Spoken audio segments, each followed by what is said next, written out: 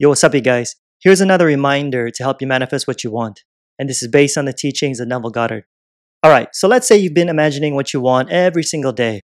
You've been committed, but then still nothing. So, what the heck is going on? Here's most likely the reason why. Ready? It's because of your inner conversations. Your inner conversations. What do I mean? For example, you ever go to a party where there's a bunch of people meeting for the first time? Saying things like, Oh, it's so nice to meet you, or a pleasure to meet you, or I'm so glad to be here. You know, the typical things people say. But then later you hear the same people saying things like, I don't like that guy, or stay away from her, or this party is whack. Yet earlier they were saying the complete opposite, right? So their outer words didn't conform whatsoever with what they were really thinking on the inside, to what they were really, listen, feeling on the inside. Did you get that? To what they were really feeling. Question What's the secret to manifesting again? I say it in all my videos. It's feeling. The secret to manifesting is feeling.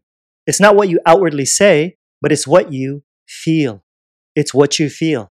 Now, here's what I'm getting at your inner conversations, the things you say to yourself, positive or negative, that you truly feel on the inside, guess what?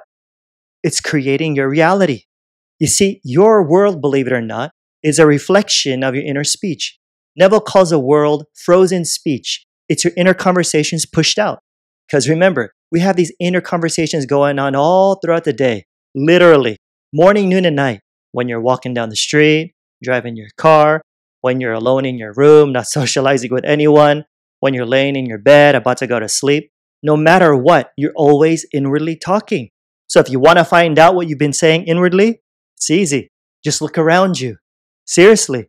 And if you're doubtful of that, you might say, but Josh, I imagine health and wealth for 30 minutes every single morning. And I feel it's reality too. And my response is, cool, I believe you. But what are you saying the rest of the 15 or 17 plus hours you're awake? Because that's what really matters.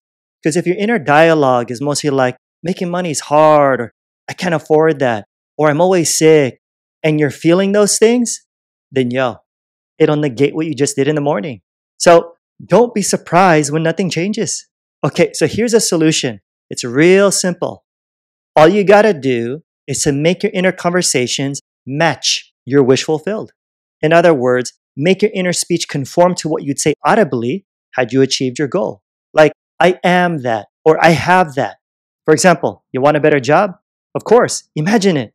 But then make sure that your inner conversations match that in too. Don't inwardly say things such as, my boss will never promote me, or I'm too old, who will ever hire me, or any other statements that would imply that you don't have what you want. Or if you want perfect health, again, imagine you already have it. And then make your inner dialogue match it with things like hearing your friends telling you that they've never seen you look better. And then you constantly telling yourself that you've never felt better and that you feel healthy and strong. Does this make sense? So from now on, observe. Be mindful of your inner conversations. In fact, what are you thinking now? Listen and pay attention. Are you hearing and feeling things you don't want?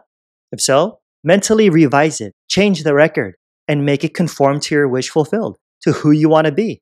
Inwardly say what you want to say and hear what you want to hear. Then just keep looping it over and over again until your new inner conversation becomes natural to you. And look, I get it. It could be tough in the beginning, but like with anything, it just takes practice. You know what I'm saying? Because the more you say something, the more it becomes a habit, right? So keep at it. It'll get easier. Trust me. Then just watch. Neville says that what you're doing on the inside, your little tiny speech movements, will be crystallized in your world because you get what you believe. Yeah. Alrighty, guys, don't forget to smash that like and subscribe button to help support this channel and the bell right next to to be notified of my next video. I pump these out every single week so you don't want to miss them. And if you appreciate Neville Goddard's work and you need a breakthrough in your life, then yo, click the link below to learn more about Law of Assumption Mastery, how to manifest anything, health, wealth, love, the Neville Goddard way. Like I always say, more's coming. Till next time, I'm out. Peace.